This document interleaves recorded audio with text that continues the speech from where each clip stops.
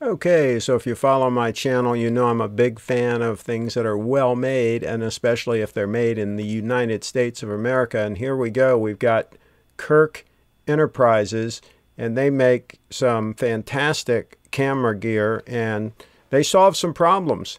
And you can see here, this is a quick release that you can use to convert a Manfrotto plate over to Arca Swiss. I use Arca Swiss on everything. I have L brackets on my cameras. I use Arca Swiss on everything. I even even have adapters for my iPhone that uses Arca Swiss. I even have some lights that go on Arca Swiss for God's sakes. And look at the hardware that comes with this. Look at the stainless steel hardware and look at the machining on all of these items. Just fantastic. They're not the cheapest, but these are the kinds of things you buy once and, and you're done. And there's a, there's the uh, clamp and I'm going to take this apart and I'm going to show you how you set this up on the Manfrotto uh, plate. And you can see how that tool comes right out. It just goes right in there. And so if you ever need to take it off, you've got the tool handy.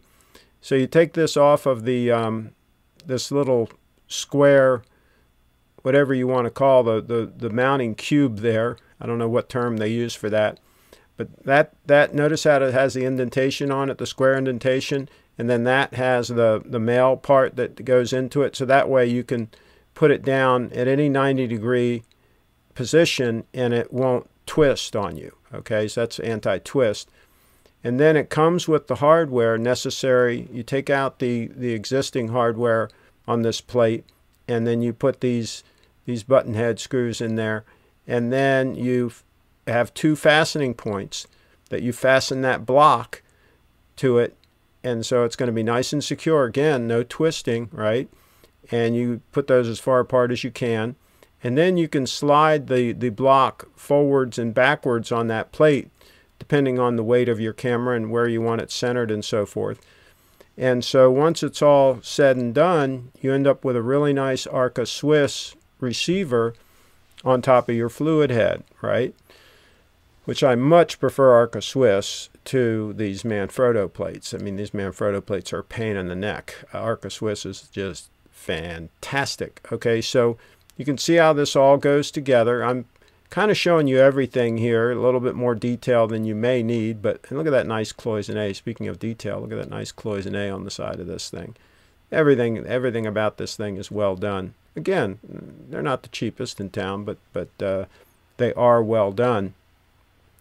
And then when you attach when you attach this again it it goes down into that indentation. And then once you put that screw in there it's not going anywhere. It is just rock solid which is what you want with camera gear right? You don't want any wiggle. You don't want any play. You want everything the way it should be. And that's what you're going to get with Kirk Enterprises made in these United States of America. So now we're going to after we get this all snugged down and set up we're going to go and I'm going to show you the fluid head in action on this setup.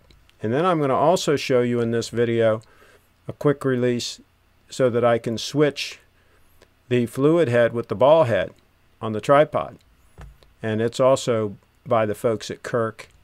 And there's the uh, A7S Mark II with the 85 mil G Master lens. I love that lens. And there it is on the fluid head. I like the Manfrotto fluid head. I kind of wish that Kirk or some of these other high-end manufacturers would, would make a fluid head in these United States that I could buy. Uh, the Really Right Stuff folks did make one, but I think they've stopped making it. I don't think they offer it anymore. I couldn't find it on their website at least. Now here's the Arca Swiss plate, and you can see that it installs with a 3 8 inch bolt in the middle there that is really going to hold.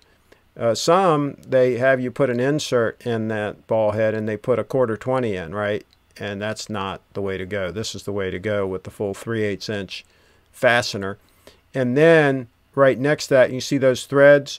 You can put a cone point screw in there, which they supply, which keeps it from twisting on you.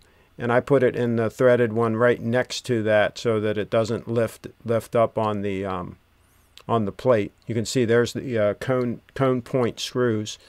And here you're going to see I'm going to install the quick, quick release system, which comes with another one of those plates. And I'm going to put that plate there on the um, on the fluid head. So I'll have one on the fluid head and one on the ball head. And then there's the receiver that goes right onto the tripod. And you're going to see again, that goes on to the 3 8 inch uh, receiver on the tripod, thread, thread on the tripod. And then the tripod, most high-end tripods have a set screw underneath that goes up and, and, and puts tension on that, again, for anti-twist. So there won't be any twisting. And there's the plate again, same plate, and there's that cone point screw there and and the 3 8 which I use to fasten it. You can see here I'm fastening it onto the um, fluid head. And I'll go ahead and show on, on this clip I'll show me putting in the the cone point screw which is the same thing that I did on the other one. And again I put it right next to there's four threaded uh, re receivers there. I, I put it right next to the 3 8 just so it won't have a tendency to lift up the plate away from the from the head from the uh, in this case the fluid head so I put it in the in that threaded area there and just torque it down nice. Now don't over torque it. And that is going to make sure that there's no there's just no way that that's going to twist on you when you're putting some torque on that uh, fluid head and you've got some resistance on the fluid head and you're panning along you're not you don't want that thing to twist on you and it's not going to do that the way this is set up. Again they thought about these details and they know what you do in the field and and uh, what you need and and you need this to be solid and you don't want it to twist. So so I tighten that down hand tight as tight as I could get it hand tight. And then you can see there the set screw underneath. I snug that against the plate. And again that's going to keep that from twisting on you some of the bigger tripods have have two or three of those set screws around them my bigger Induro has three I think uh, but this is going to be fine it's not going to it's not going to twist on you and it's going to do what you need to do. And you can see now how I can very quickly remove the fluid head and then I can put the ball head on. And I can put anything I have that's Arca Swiss. I can put a slider on there. I can put even a jib. On my heavier tripod, I have a receiver, an Arca Swiss, and then I put the jib on there. I'll do a video about that whole setup here too pretty soon. But you can see the end result, how everything works, how we've got it all set up, ready to go, and everything's Arca Swiss. It's an Arca Swiss world. And there's another extra cloisonne. They they uh, I, I stuck that one in there, and they gave give you an extra. So they think of all the details. Kirk Enterprise Solutions. Check them out, and stay tuned for some more videos. Hey, subscribe. Click the little bell.